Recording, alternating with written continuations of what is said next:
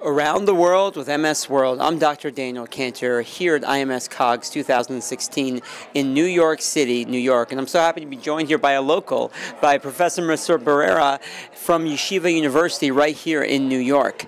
And so tell me, when we think about cognition, that's something that's practical for people. It is. What does that mean? Like, what, what should people be thinking about when they think about cognition? Is it something, if it's not bothering you, you should worry about?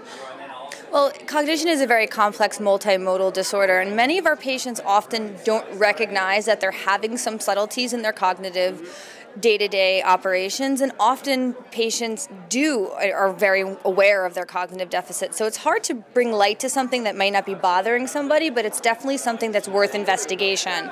So everyone with MS should consider having a cognitive battery to make sure that they are fully aware of their scope of cognitive capabilities because it's important for decision making in day to day life.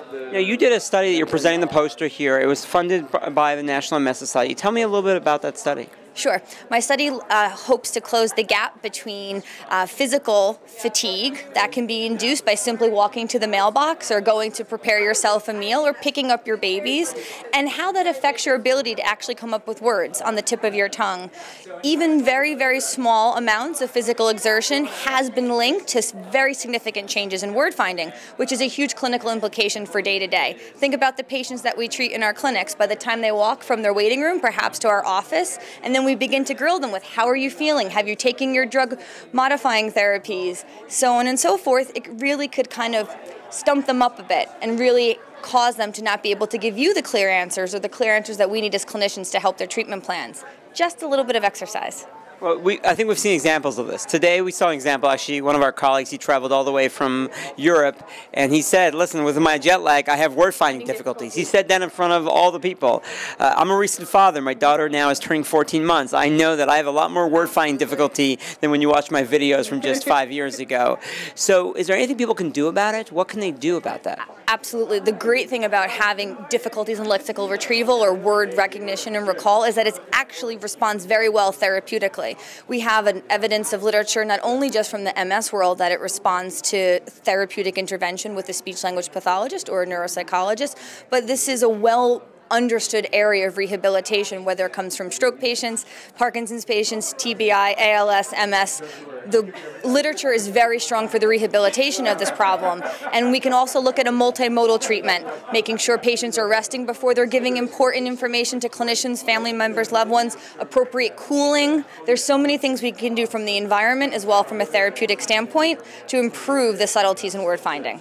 Yeah, I've brought up this example many times. I had a patient who, every time she would give a lecture, she would drink her hot coffee, go and talk to all her employees at her small company, and her vision would go blurry. But probably she had some cognitive problems too, and all that was happening is the Uhthoff's phenomenon. You're raising the you're raising body temperature, and it's making there be like almost like a short circuiting going on. And so the same kind of thing can happen with cognition. You know, we've seen a recent example of this even. You know, here at the meeting, there was one of our colleagues who traveled all the way from Europe, and he had jet lag, and he made a point that he's having word finding difficulty because of his jet lag.